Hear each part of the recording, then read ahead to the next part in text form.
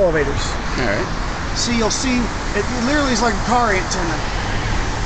See, here oh, comes, Oh, yeah. there's the, see the second segment? Yep. Oh, that's cool. All right, let's let's let's go take it for another ride. Yeah, we'll start over here. All right. All right, this is the elevator. This is ride number two with Diesel Ducy. Can't tell if that's blurry or not, but I'm not worrying about it. This is the elevator at the Elmwood Parking Garage in Roanoke. Look who's here, Jimster. And here's Andrew. Go ahead and call it. I'll let you do it. Let's hit the button. Now let's take your first fan. There's your indicator. Business coming down. It's a little busy. It's quitting time in downtown. Two's burned out. Yep. One will light up though. Quitting time in downtown Roanoke, almost, by another 40 minutes. So things are a little busy. And it's starting to rain out there. Here we are, one. Now we'll look out the window.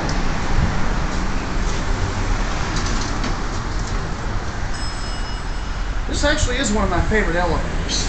As for a US, this is an exception to the rule. and this actually works. We're gonna go up to five. We'll get a nice view going out the window. Here we go.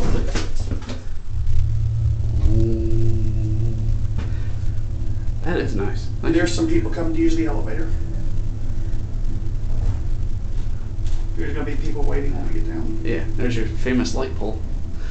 Yep, you've seen that many times. Yes, I have. I think everybody else on YouTube has too.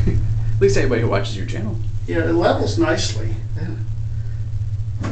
got some rust on top of that traffic light. All right, now we'll go down to one. uh, Maybe they didn't call it because the bell would have rang if it was going down. Yeah. So now we'll get a nice view. There's your fixtures. Again, look up. There's your phone. You can see the SunTrust building, Norfolk Southern building. We'll let Diesel Ducy comment. He knows more about this elevator than I do. You can see a Franklin Road. See the security guard escorting.